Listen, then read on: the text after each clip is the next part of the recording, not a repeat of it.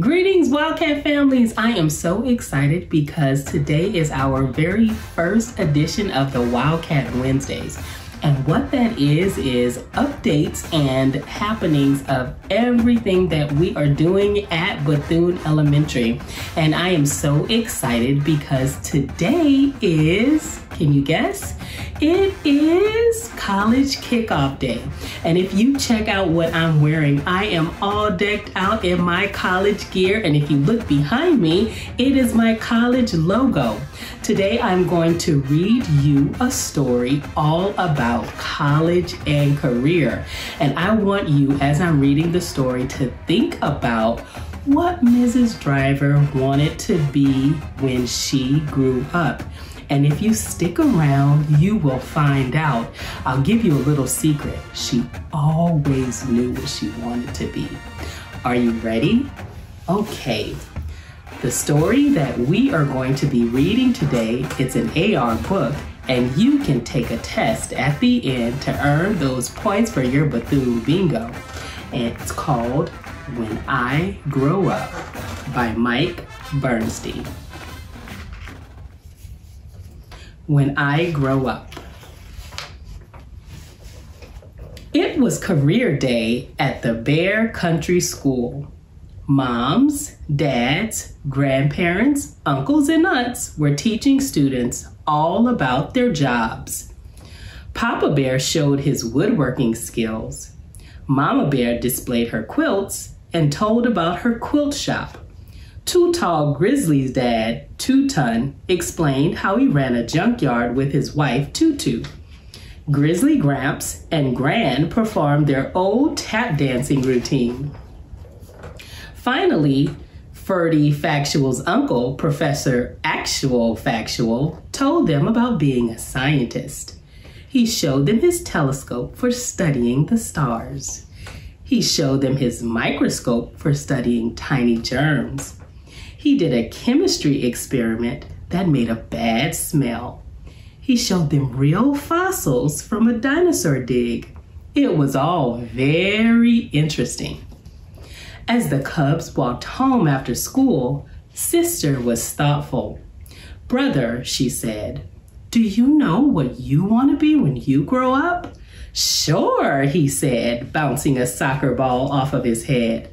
A soccer star. But Sister wasn't so sure. She had many interests books, music, nature, science, art, and sports. She could be almost anything. As they walked, Professor Actual Factual and nephew Ferdy drove by in the Actual Factual Mobile. Hello, Professor, Hello, Ferdy, said brother and sister. Would you like a lift? asked the professor. You can use my cell phone to ask your mama and papa. Thank you, they said, and called mama and papa before climbing aboard. How did you like Career Day? asked the professor. Did it give you any ideas about what you'd like to be when you grow up? Yes, said sister, too many. There are so many jobs to choose from. Good point, said the professor. Maybe we should take a tour of Bear Country to learn about different kinds of jobs. That would be great, said sister. Sounds like fun, said brother. One actual factual job touring coming right up said the professor, first picking up his phone to okay the trip with Mama and Papa. Now look around, he said. What sorts of jobs do we see? Carpenter, painter, mail carrier, cook. Everyone is hard at work. Uh oh, said the professor, rounding a bend. What's all this? Wow, said the cubs. A fire. Fire trucks, police cars, and ambulance blocked the way. Smoke was coming from a building. Say, said the professor, you might be a firefighter. You could ride on big red trucks and save lives. You might even save someone's pet. I'm sure no one will mind if they get a bit damp. Or you could be a police bear or an emergency worker and keep everyone safe. They're very important, especially today. They drove past the Bear County Airport. I know you're really into airplanes. Brother, you too, sister, said the professor. If your dream is flying, you could be airline pilots and fly a jumbo jet. Or you could fly even higher and really go someplace. Outer space, to be exact. You could be an astronaut and blast off in a rocket to the stars. The professor and the cubs passed a construction site where giant dump trucks and earth movers were digging, plowing, and pushing and piling. On the other hand, said the professor, you might decide to keep your feet on the ground. Try on a hard hat and put some mega machines through their paces. Now there's a job you could dig, he added with a chuckle. That's really funny. They drove into the countryside past Farmer Ben's farm. Farming is a very important job, he said.